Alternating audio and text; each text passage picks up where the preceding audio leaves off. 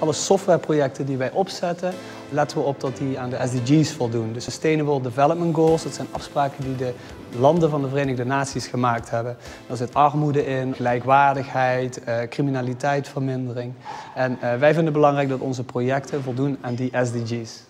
Eh, stichting BID's is een stichting. We hebben geen winstoogmerk en wij investeren in softwareprojecten met impact op mens, maatschappij en milieu. En dat doen we in onze sociale innovatieprojecten met impact op de Sustainable Development Goals.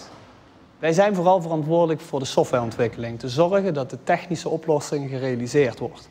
Uh, dat doen we in sociale innovatie. Dus wij uh, werken met meerdere partijen om te zorgen dat het softwareinitiatief er daadwerkelijk komt. Traditionele innovatie is gericht op economisch belang. Dus er is een pot met geld, um, die wordt geïnvesteerd en er wordt een bepaald resultaat geboekt, vaak door één organisatie.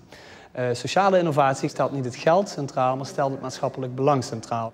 Capacity building is een sociale innovatie waarin we eigenlijk met een groep mensen die lerende zijn in softwareontwikkeling een stuk software maken met maatschappelijke impact. Dus wij krijgen eh, van onze partners, UWV en gemeentes, mensen landelijk aangereikt en die vormen in kleine groepjes van 10 mensen en die gaan gedurende een half jaar onder onze begeleiding echt een softwareproduct realiseren.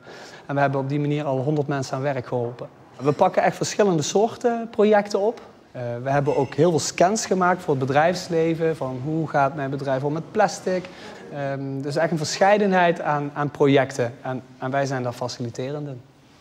Onze ambitie is om vooral internationaal impact te maken en onze sociale innovatieprojecten uh, nog uh, strakker neer te zetten binnen de Nederlandse samenleving. Dus echt een Nederlandse kenniseconomie gebruiken om internationaal impact te maken.